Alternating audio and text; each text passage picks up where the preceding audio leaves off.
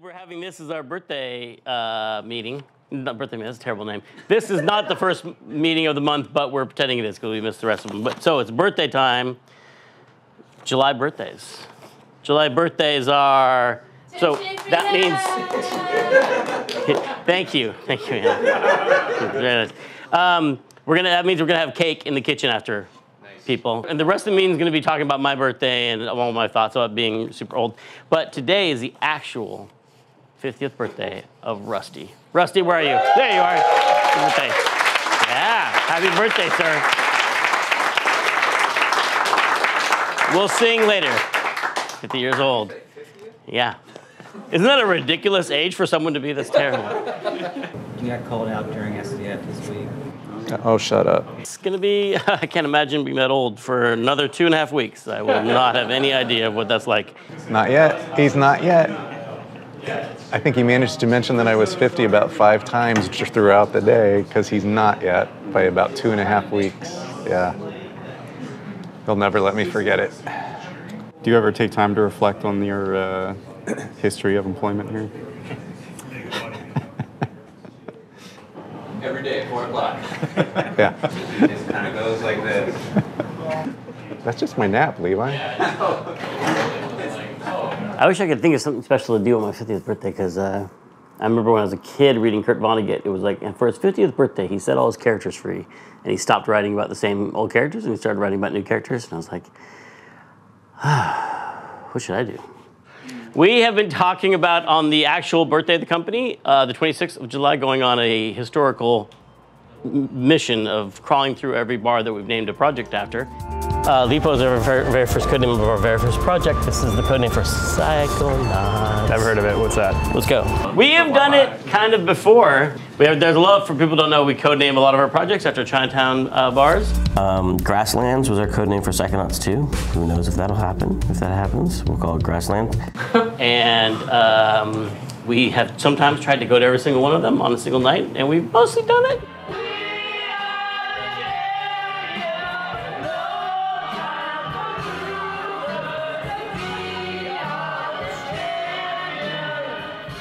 Yeah, a lot of history. A lot of history. So.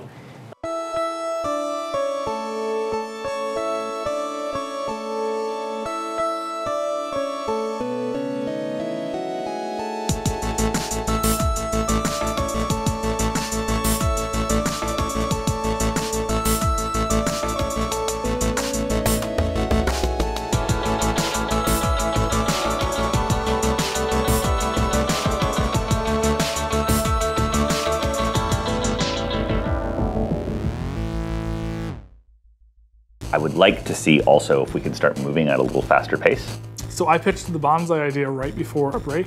It's supposed to be the surface of a bonsai tree, so like that, Okay. like macro photography. I do think some crazy shit is going to happen over the process of making this game, though. Move that over to now. We're gonna uh, start talking about doing the hub. Look at that. Yep. That video game just happened there. That was great. This is the first asset that we're building that we're not gonna throw away. Like this is the game is gonna have this in it. This is the game. So we just have to hit that milestone now with the mental world. We'll get it. We'll get it filled up. It's our wedding gift to you. Don't worry. For the next five minutes. Until you get back here. Um, hi, I'm Jeremy. Jeremy Friend. Welcome, Jeremy. Uh, yesterday I went to the beach. Uh, but uh, today I'm gonna just get yeah kind of caught up with everything and figure out what I'm gonna be doing and uh, find out how to help make this game. Yeah. Yeah. The Psychonauts needs a lot of people to get finished. Staffing up. Jeremy French's first day is today. We call him Little Ray because he looks like Ray. Uh, no, we don't call him that, but we can't call him Jeremy because we already have like 18 Jeremys at the company. So um, he's going to be doing art. Welcome. Zahra's here. She's new, our new 3D modeler. Welcome. Zahra's kind of newish. Zara came from, well, actually, we've been meeting her for years at PAX. She would come to like our booth at PAX and talk about uh, getting a job as an artist. And we were like, yeah, well, here's some tips. And, and then eventually she, were just like, oh, whoa, hey, okay.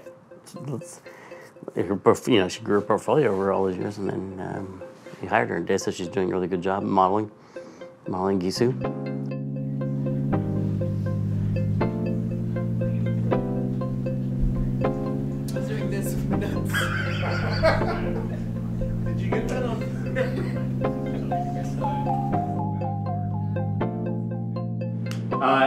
Esther, who's Gisu. she new name? Uh, she's called Gisu. Gisu. That's uh, that was Zahra's uh, pick for a name, as Okay. far as like a young, energetic skateboarding teenager. G I S U. G I S U. Okay, cool. Gisu. Uh, you got mind out. editing that? Yeah. Uh, I didn't name her. I suggested the names to Tim. I think it was my first week or second week. I got an email from Tim and said, "Hey, we have this character." But there's inspired by like that that video of the Afghan girls who had a skate park. Oh, that's cool. There's some fun videos of them learning how to skateboard and stuff. I mean, it came from, you know, wanting to have the interns uh, come from all over the world. The idea for Gisu uh, came about, and it's a it's a it's a challenging one because we wanted to get it right. You know, whenever you uh, you take someone from another culture and put them in this game, you don't want to just grab a whole handful of stereotypes and throw them in. And it was great to have Zahra on the staff and just be able to talk to her about her experience growing up in Iran. He only asked me about names, but he was so open, and I gave him a lot of suggestion about like her costume and clothing and. thi- Official first cosplay. it gets into like there's a lot of complexities about whether like whether the character should wear a headscarf or not. You know, that's how do you treat that? Um, what does that headscarf mean to different people? To some people, it's really positive. To some people, it's a negative. And you know, what do we want to do? For, what's right for that character? You know. Maybe she's homesick because she's an intern and somewhere else. Sometimes she does it, but things like that. Oh, uh, character stuff. Um, so Scott has been hard at work getting characters for first playable. A near final version of our first intern, based on a lot of feedback, including some feedback from Zahra, which has been great. She will be skateboarding around in a vignette in the first playable, so that will be really cool. It makes you feel amazing that you work with professional people that they don't care about like uh, what level you are and when you started and any of those. They just think about like if that person says something that it seems right maybe we should listen. Feel amazing working here you know? And she's going to go into the game for this um, quarry they're working on. Is that exciting? so excited Awesome. That's gonna be exciting. Uh, okay, let's talk about Psychonauts 2. Psychonauts 2. Yeah, Uh, last week. We are uh, working towards our first playable milestone, which is a big polished chunk of real world gameplay um, in the quarry. Uh, and we're having actually an internal team play test for that tomorrow at the end of this sprint. All right. You're playing a video game, you're playing a video game. All right. Who's found? Oh no! Is it plugged in? It's not plugged in. Solved it! That's funny. Have we started? Yeah. Oh, okay. Um, yeah, we wanted to create. Uh, well, we were working on uh, one particular area in the hub, um, and it's the focus area for the first playable. Um, and we wanted to start playtesting, like actually playtesting with the team. Still, still pretty rough, but it's an an endearing sort of rough. you know, it's really early on, so the, there's definitely a lot of polish, you know, in the moves and the way that he moves and stuff. But um, it's really promising. Ah, no. Why? There's a lot of little things that. There's a lot of stuff to do. It's a very full experience right now. Like, everywhere you go, there's like another path, which is kind of overwhelming, but I think it's good overall. So I'm trying to give it a little more. What the fuck was that? Was I. What? Okay. So, what? when I'm playing it, I'm thinking about how hard it is going to be to make the game. Also, and I keep thinking, are we going to be able to pull that off again? You know. But it all feels really good. So if you're still playing, you've, you've done your part. And you can move on to filling out the survey. Please, please, please, please, please fill out the survey. But it's really funny because like Jeremy uh, Mitchell was asking for one area. He, he uh, pulled me over and he was you know complaining about a particular crime that I uh, did in the level, um, and. Uh, he was, he asked me just point blank. He was like, "What were you trying to do?" And I explained it to him, and he's like, "Oh, that's fine. That'll be that'll work. Just that'll work fine. Yeah. If that happened, I would totally be okay with this whole thing." And I'm like, "Great. Still give the feedback though." Let's see. Yeah, actually, I was pointing out some of this stuff earlier. There's a, actually a great moment right at the very beginning. Clearly, this is the path that I'm intended to go on. So I'm running along. oh, there's like a cool little bridge there. Oh, no, no, there's not. Um, and it's like it's this perfect it's at this perfect height where if you don't tip the camera down, um, it's just like ah, and like stuff like that. That's like that's like good for a troll, but it's like not great levels. I felt like there were not enough reasons to use my psychic powers. Ah, all right. No puzzles or power interactions Yeah. or interactivity. Like general. like the map right now, I feel I Wait, what was definitely that feel like an acrobat, but I don't feel like a psychic. I, I, I, I just put more interaction. We needed it. We needed it. Yeah, we. Oh, everybody shares this Yeah, one. I love it. Love it. Uh, this is just related to the last one, not enough psychonaut stuff. Like just in general. Yeah. It's not Just other than the art There were there were uh, a non-trivial percentage of people. One of the questions on the survey, playtest survey, was like, "Does this feel like a Psychonauts game?" And there were a, a non-allowable amount of people that said no. So, Cool. Thanks, everybody. actually, having level designers might be a success. well, uh, I think Yay. well, there were none. the jury's still out. I don't know if all. Yeah, you may not know. What happened is the last time you had? Yeah, we fired them all. Oh no! all got fired. All the level designers got fired on Psychonauts one. I I have heard that story. Apparently they smoked a lot of weed, so we're. Uh, well, starting tomorrow, actually, we're gonna do uh, we're gonna do a meeting to start talking through the character for the the first level I'm gonna be working on, and uh, hopefully about a week after that, um, we'll have kind of the basic character story stuff figured out. Fingers crossed. So we'll be kicking off new levels with our new level team. These two guys will be kicking off a new level, uh, and then our previous level team will be kicking off a new level as well. So we'll be kicking off new brains soon.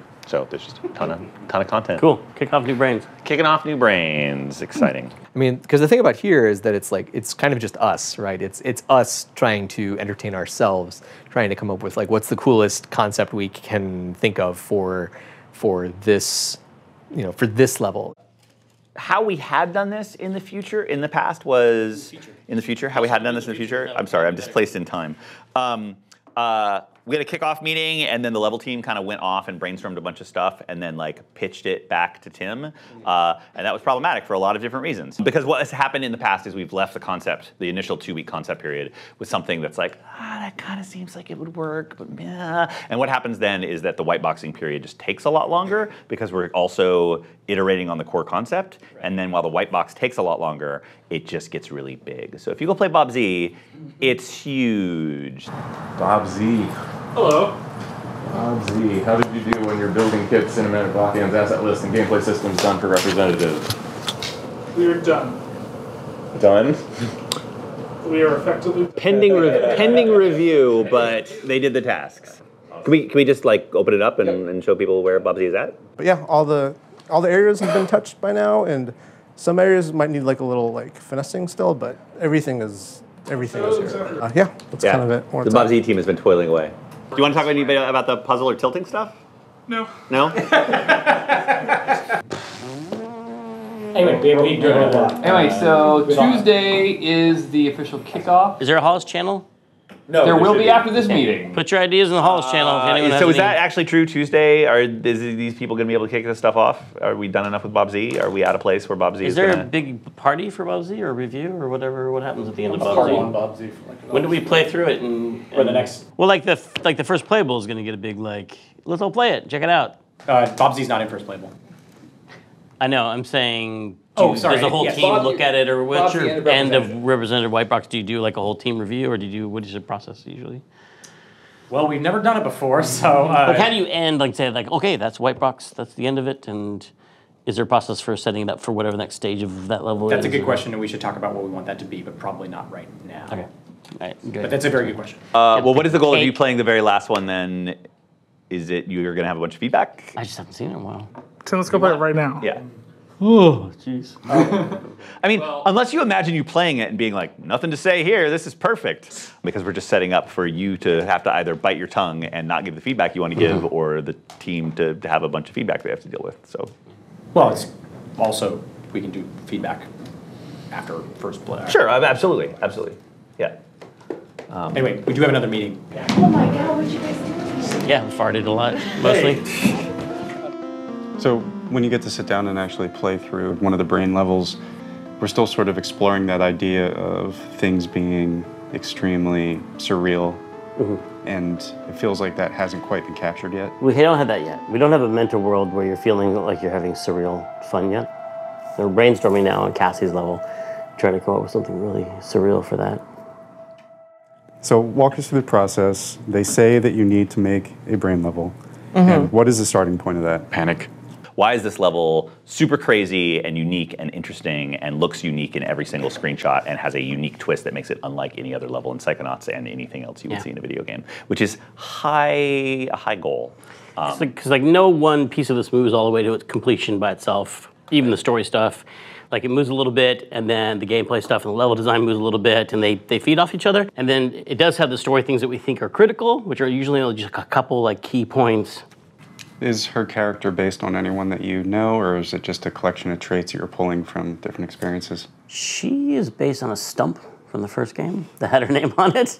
Cassie. So this is going to be the Needle Witch, right? Yeah. Oh, I didn't I didn't know she was Asian. Oh, it's all coming Yeah, together. Although she looks like She is she's she's going to take Richard Dreyfuss away.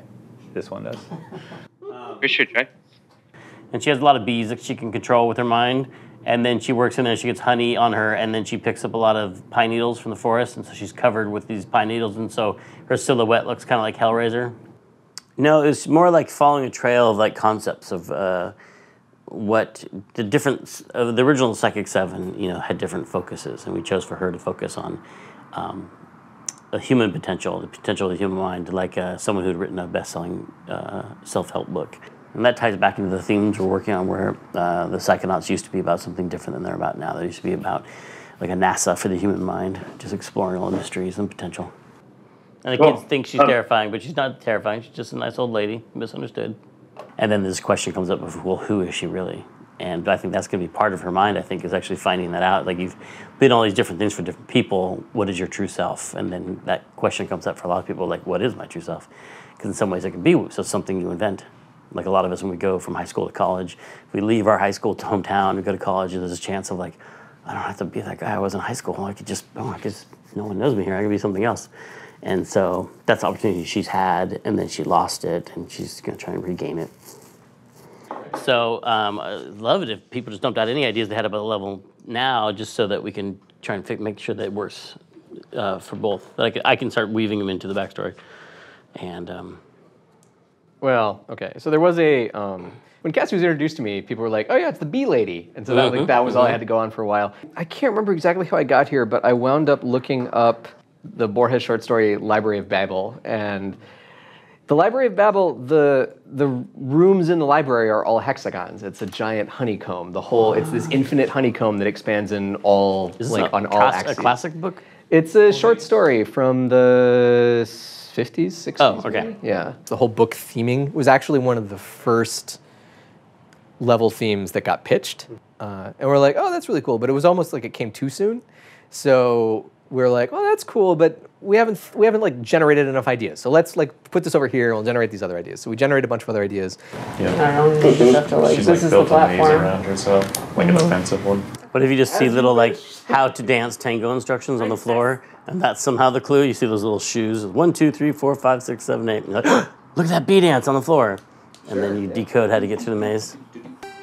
Brainstorming the Cassie level, at the beginning it was going to be about bees. It was going to be like, okay, I want to do a game uh, level set in a beehive, but have it not look like a bee movie. and then we sat here and we had like two brainstorming sessions with Emily and Ben and um, and Will, and we were like, oh, we drew all over that white paper, and we were like, uh, stuck. I feel like right now we're moving all the pieces around, but not really changing anything. Mm-hmm.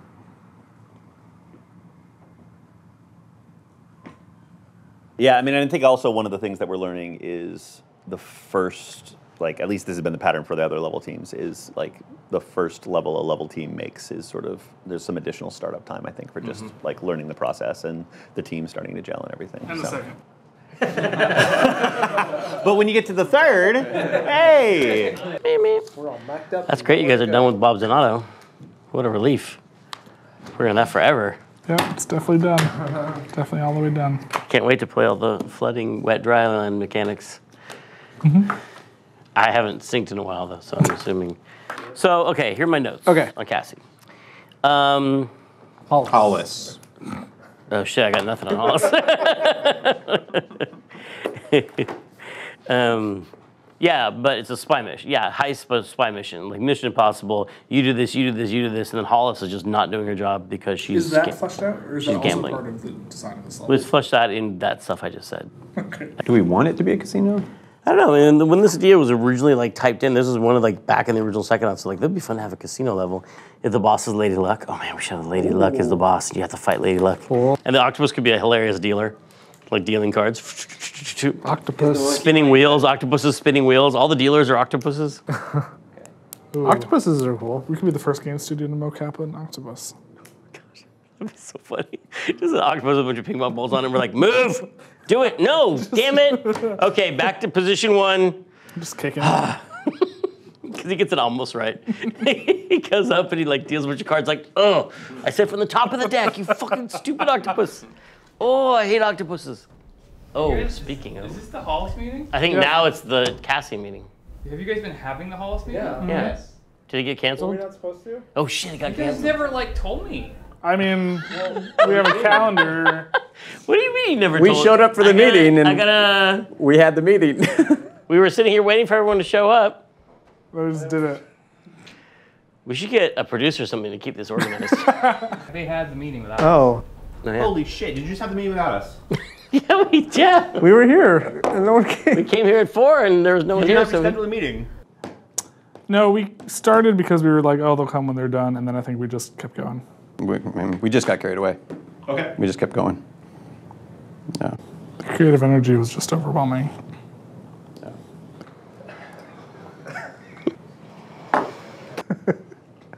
Come on. Yeah, we probably should just get up to speed on what the hell's going on. I'll go get Ryan. Um, Look, you guys, don't be mad at us. We came to the meeting when it was scheduled and we had the meeting, so I don't think anyone in here did anything wrong. all right, fair enough.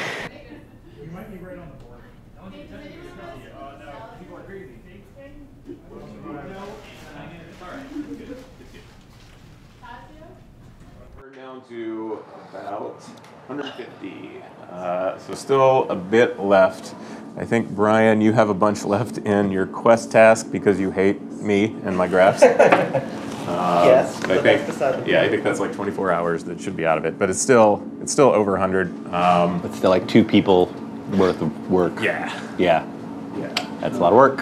So What do we get done? there's still a lot of polish work that's in the task that we need to get through.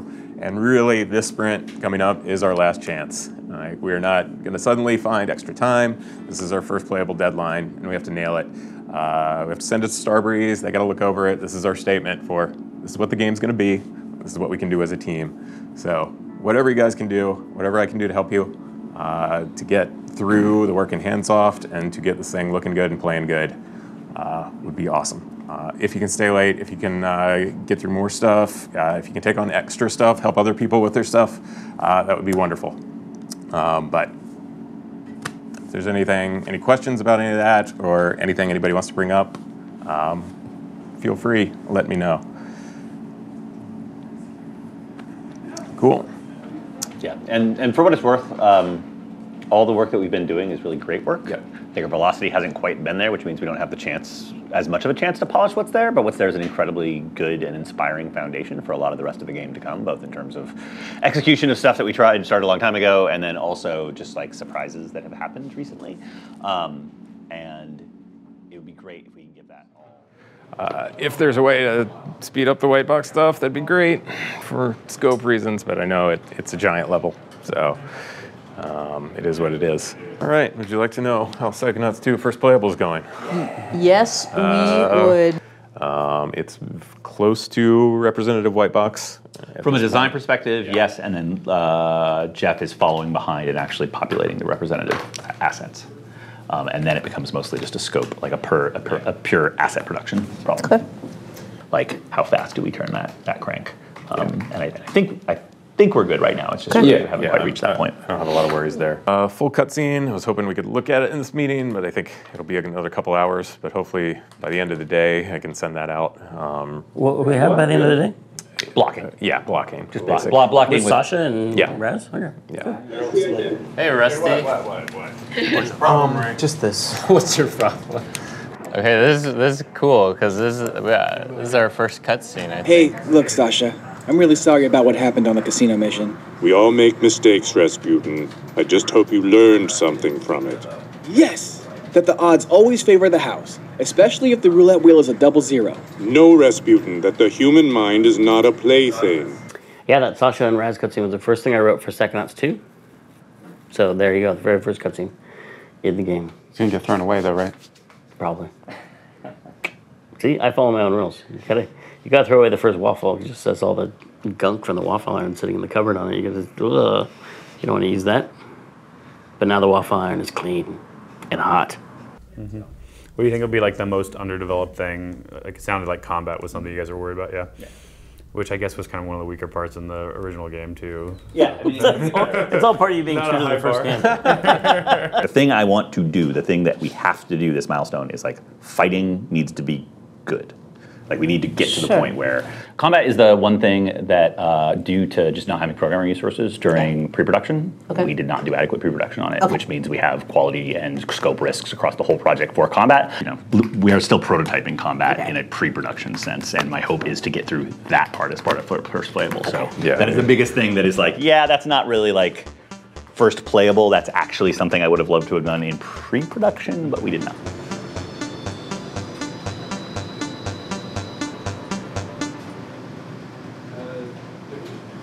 And these guys are all crowding up on me, and so I'm losing the focus on the one that an enemy that, like, as a player, Yeah. I chose to concentrate Yeah. on, because the rest of them are still moving in. Like, I think the, the the thing that you should see, we're going to need to get some toys to play around with in Mhm. 3D space, but. Um, Wait, I understand what you're I getting know, at. I know, but I'm just trying to visualize it. Here, let's use the erasers. Yeah, so the hamster can be Raz, and I would expect, you know, like you lock on the walrus and the elephant and the whale are here, and mostly that these two spread out, Mhm. and this one is the one that gets to attack. Mm-hmm. Mhm. Um, because like right now, I think what's happening is you lock on a guy, this guy attacks, he backs off, and then this guy's these guys sort of crowd in, and I'm still locked on this guy. Um, and the expected player behavior, I think, would be AI is often kind of a black box, and you want them to be, you want it to always be very, very clear why they're doing the things that they're doing. So we actually actually have some debug stuff now. If they're green, um, like that guy is right there, he, he can attack me. If they are uh, yellow, it means that they're not doing anything. They're just circling and making sure that they're like near you. If they're this blue cyan type of color, that means that they're gonna attack. That's their ranged attack state.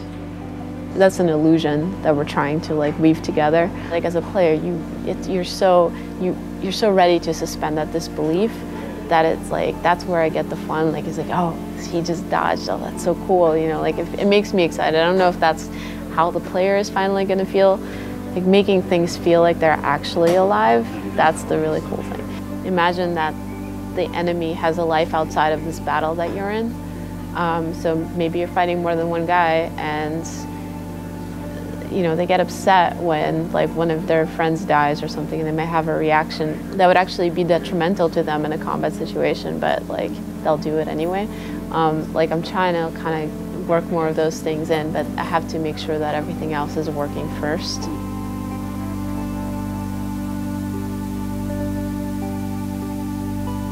um, I don't know. I mean, we'll sort of figure out these rules. I mean, I could write down a this is what I think maybe would happen, but I have a feeling a lot of this stuff will come out organically as we as we develop and see the behavior. No, no, no. I mean, there's no dirt. It's just like it really is just about like um, the best way to communicate. Yeah, it was just like I think just a different uh, way of like dis- like communicating or like describing what it is that we wanted or like what problems I was having with getting it to what he wh- like you know where that uh, how to bridge that gap I guess between what he wants and what um, is happening. Oh, Do, little do- animals. Little animals. Little animals. Yeah. Something just came up, and I wanted your opinion on it. Um, so back when I Yes. say urban together, ideas together. Um, you know, obviously, like, you want to have a socket for that idea, like where this looks like it's She's, she's like killing it. Yeah. Have you been paying attention to the powers at all that she's been prototyping? Oh yeah. All right. So yeah, we've been focusing on first playable powers. So just sort of more specific honing in on what we want uh, TK to feel like and doing like a special camera for this like precise mode. So I've worked with like Jeremy, he's put together like the firewall. And it's all kind of come together. I think I'll feel more proud of the abilities when they become a more integrated part of the experience, which wasn't exactly the focus for first playable. I think I'm especially proud of the, the, the more under the hood stuff than the abilities because it's hard to see. It's hard to see all what went into like Pyro. These basic systems that allow a whole bunch of other things to, to happen. And then with the abilities just being the culmination of that. You know, I wrote some systems, and before, I mean, she's basically been the one to just like, it's like, oh, sweet, you have a new system here. I'll, I'll do a bunch of really cool shit with it, like right away. No, I want to appreciate someone who casually makes the impossible possible and the possible a reality. Uh, yeah. Let's step it up, people, with the speeches. This is getting better. So, uh, Anna. Anna Kipnis. Yay. Aw. Yeah. Yeah. Happy birthday, Amy.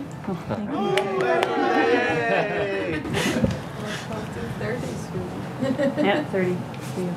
Uh, Today is my birthday, yes. Why'd you come to work? Uh, I like work. It's, it's my treat to myself.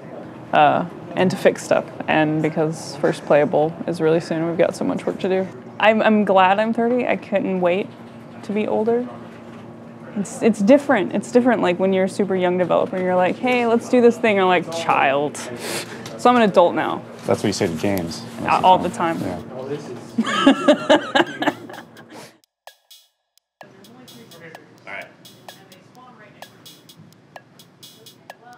Hollis has actually knocked out the concept in two weeks, which is delightful, which is good. And Hollis is actually in. Knock on, knock on wood. Well played. They're they're moving along. They're white boxing, and they're making their test world parts. So that's underway. Uh, the Cassie thing.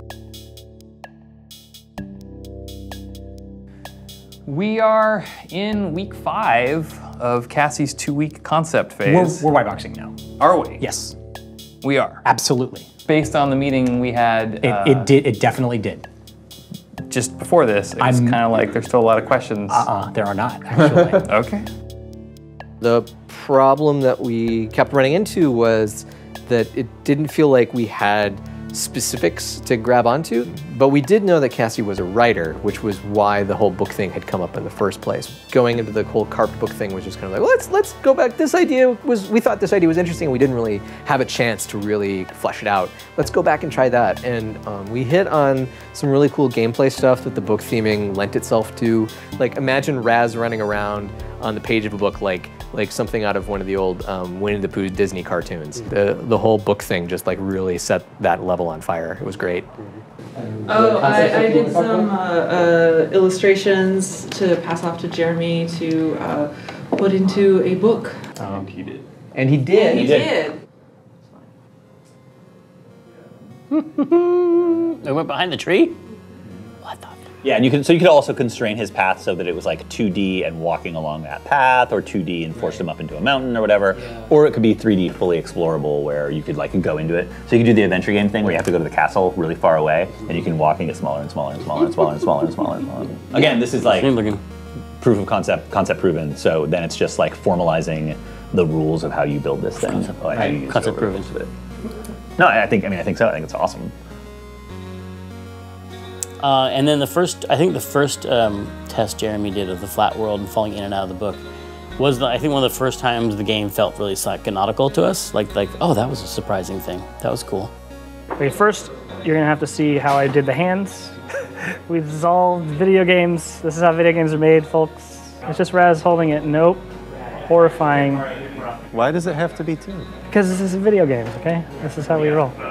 So I took these pieces and chopped them up and s- stuck them in the game. Um, as I move these guys around, you can see it updating. And then uh, the the most interesting thing is that you hit the corner uh, page flips. Yeah, I have these uh, triggers set up. Where Mm, okay. you can tell it which Yeah, I think there's a chance it could get old. I guess it's up to the level designers to figure that out. If you just did this and milked it for all it's worth, you could almost get a whole level out of it. I think there's a ton of variation. If you're like, okay, you probably go into a book five times at most in a level. What are the five different cool variations that make it interesting every time? You can And you, can come up with has a hole that bookworms have eaten in it, and you fall into bookworm world. Yeah. Yeah. Roast monster bookworms. And then everyone, you know, when you when you see the thing, Very amped about it. Like everyone. yeah, people are pretty amped about it. Down big location. Yes. Uh, the actual level is still like really early and not even white boxed yet, so we don't. We're still figuring out what it, what the level- actually means. So. Well, it's certainly gotten people excited about the idea, which Mhm. seems Yeah. like a good morale, like encouragement. Yeah, it's yeah, it's, it, people are super into it. Uh, so you know, there's a lot of different examples of ways that we could use books and pages and and stuff. So I think that just having the simplest version of it being impressive is an important state to be in. Where like the worst case scenario is we just have this in the level, and if that's compelling, then you're in a good spot because. If, if it can't possibly be any more boring than this, then it's like, you know, it's a good place to be. Thank you very much, Cassie team. That's great. Thank you. Uh, yes. Super cool. no level has been pushed all the way through yet. So uh, things are in various states of like being just enough that the level designers can figure out what they need to do with this, or if you know if these ideas are even possible. I hope so. That's the idea. Lots of hoping in game development. We need three more effects artists to get this game done. It's not going to happen. So we're going to have to work smart together. Uh, so. You guys help each other back and forth, or is there separate? We don't like to talk. It's like there's a very cold distance. Yeah, there's like a little barrier here. Yeah, I'm working on my things too. But let's get to business. This week we have uh, Starbreeze coming in for Psychonauts 2.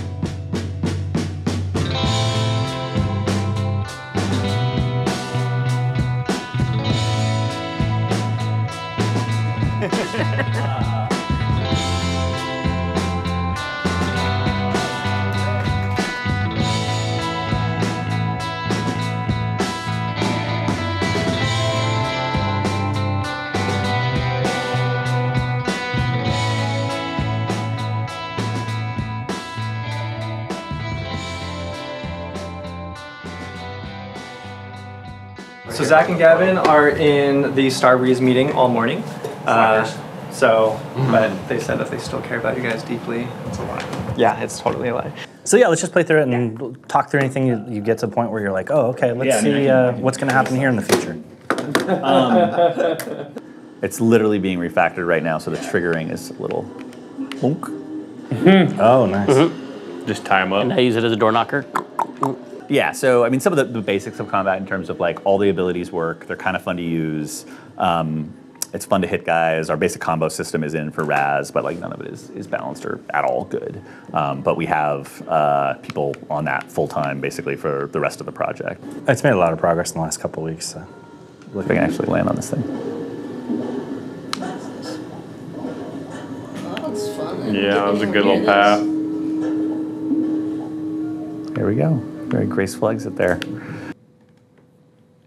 Haha! Good mind reader. Um, so one of the things that we also wanted to do, if you're making a level all about books, uh, the cool thing to do would be is if you could actually enter books. So um, this is the first test we did of that, which is like a 3D uh, projected onto it. Um,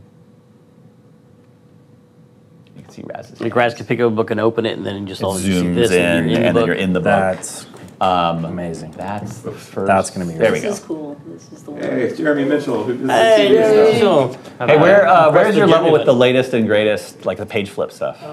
It's in his developer folder. Later, I'd love to see that. Like, just head over to your desk. Yeah, you just just see that. pull That's, yeah, yeah, that's yeah. amazing. Swing by, swing I love that. Uh, yeah, so playing with a lot of like 2D uh, to 3D good. transitions, things where like you're playing the game and then the camera pulls out and it's actually a book that you're holding and you hold the, you close the book and you're controlling the Raz that was holding the book or finding books and opening them up and having the reverse thing, and then also playing with like That's good. 2D. We'll see where all that goes. It's like Waterloo times 10. This one I hadn't seen the effect on him yet. That's cool. that just yeah, went in. yeah, I just added the uh, 2D shader on him. How many books do you think you'll uh, jump through? Uh, I mean, it's a real library. Every book is interactive. Everything. Yeah, we're gonna randomly generate them all procedurally. Um, Every person on the I team mean- has to write one book. Yeah, so really trying to push good stuff uh, on the stuff. levels having like super unique visual identity and some interesting gameplay shticks and change ups and things like that, which I feel like we're starting to hit our stride on that after just like learning what it is to make a brain in a Psychonauts again. So, so that's good. This is super. This is fantastic. Super pumped. About I mean, those are sort of the, the showable That's things. amazing. Um, Yeah, with the two level teams, those are what they're working on right now. Uh, the third level team is working on their plan for like long term iteration in the quarry. Well, good. I mean, you hit the whole. I mean, basically, what you sent. What was it? August. Mhm. Like what we're gonna hit for first playable, and it was dead on, which is which is awesome. Well, there's a whole meeting in the yard for. Thanks, Tim. Today is the um, 17th anniversary of Double Fine Productions and my 50th birthday. It's what 50 year old Tim looks like. Yeah, Oh, you've seen it. High kick, I like to kick and stretch. so 50. He's so 50 years old. When I'm sleepy and tired, I like to sit down, which is just more often now. I mentioned I'm 50 years old. Kick. How's it feel to be 50? Mm-hmm. A lot like 49. Ugh. Do you have any questions? I have a question. But Monica has a question. Since you're 50 now, what was your favorite memory of 25? 1992. We had just. Oh, that's the year I got divorced. Oh! oh shit. That's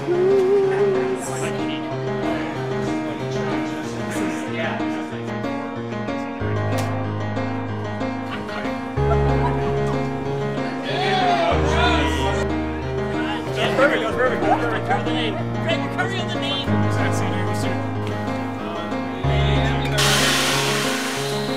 Yeah, it's like.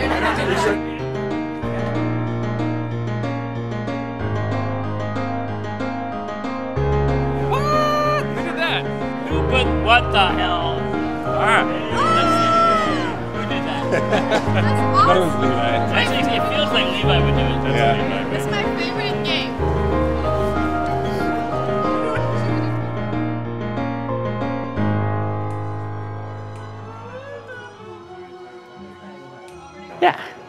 I mean, it's accomplishment to be old. It's hard to get old. Hmm.